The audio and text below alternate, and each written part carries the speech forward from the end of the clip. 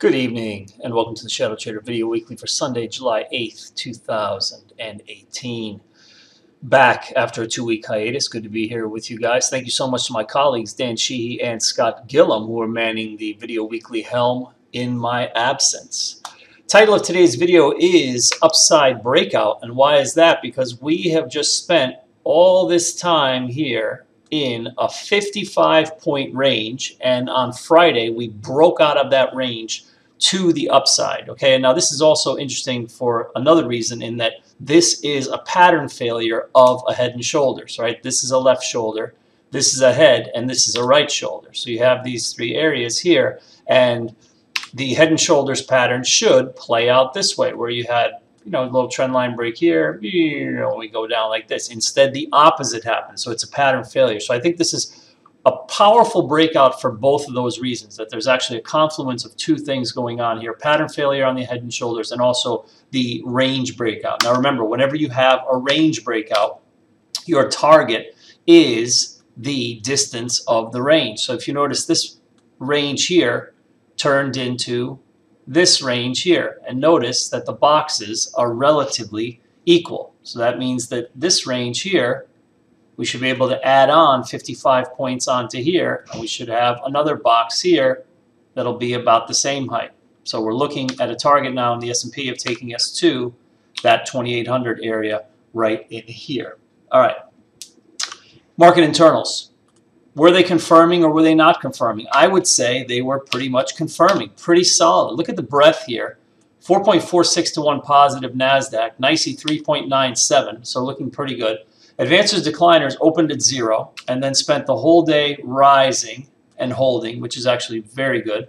Pretty bullish action. And last but not least, certainly not least, you know, I love looking at the tick indicator. Look at your green triangles here on the NYSE tick on the 15 minute. That green triangle means that you had a close on the 15 minute bar above the blue zero line. Red triangle means below. Lots more triangles on the green side than on the red side. And I also found this very interesting is as the market was breaking out early in the day, then it spent the rest of the day more in a consolidation pattern, which I'll get into in a moment.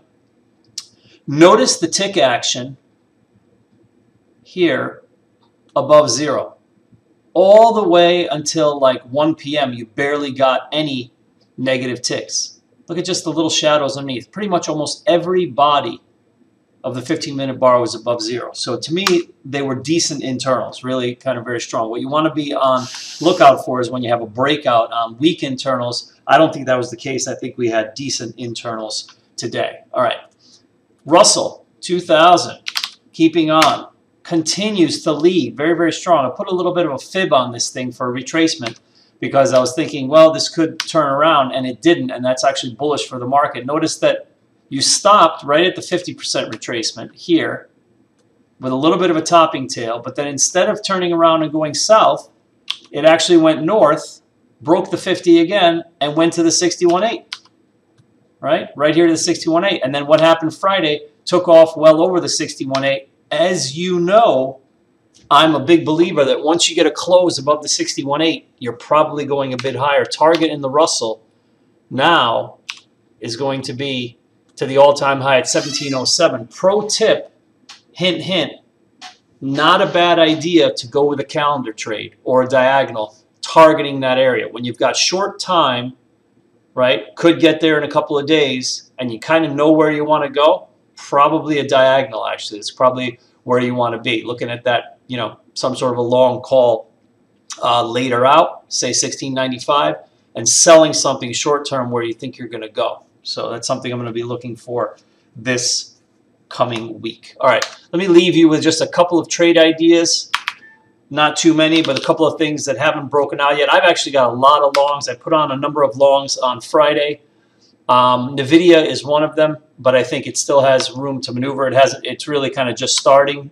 Uh, so I wanted to put this one out there because really the, the cat has kind of just left the bag, so to speak. It really hasn't broken out totally. But notice how many days of consolidation you have here. This is actually nine days of consolidation, right? If you remember from Ferris Bueller's Day Off, nine days. It's actually nine times, but nine times, nine days of consolidation right here. And look at the gap to be filled right here. And also 20 MA right in here. I think the stock goes at least to about 260 here. We'll see the downtrend line puts it up in here at 255. So I think you're going to see some room to maneuver here in NVIDIA. NVIDIA in the semiconductor in, uh, sector. And notice what the SOX is doing. No big surprise, the semiconductor index has the exact same pattern going on and also has a gap to fill up into here. All right. Next item up for bids, Isergy Intuitive Surgical, makers of the Da Vinci surgical robot.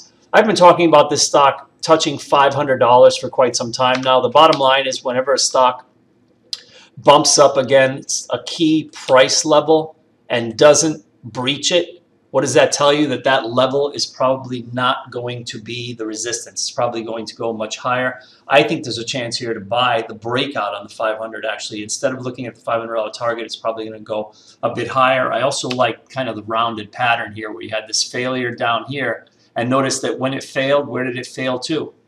Very technical, very visual, obvious references, right? I love those mechanical visual references. I love them where you're going right to the prior high on the pullback and then starting your advance again. And last but not least, this is more of a little longer term play, although they do have earnings coming up, as does everything. WDC, Western Digital, look at this weekly chart here. Nice support on this area. And what I like most about this is the dastardly letter H, right? And I say dastardly because what does that letter H spell for sellers? That's right. Hell. Always hell for sellers. They always try to get short here at the wrong time. They all think this is a horizontal breakdown. Oh, this is it. This is where it goes. But no.